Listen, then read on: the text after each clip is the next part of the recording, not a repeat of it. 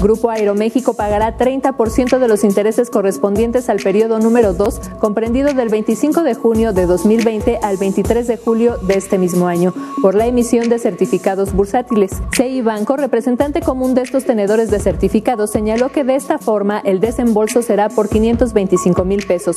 Hay que recordar que actualmente la aerolínea se encuentra en reestructura financiera ante las afectaciones por la pandemia de coronavirus.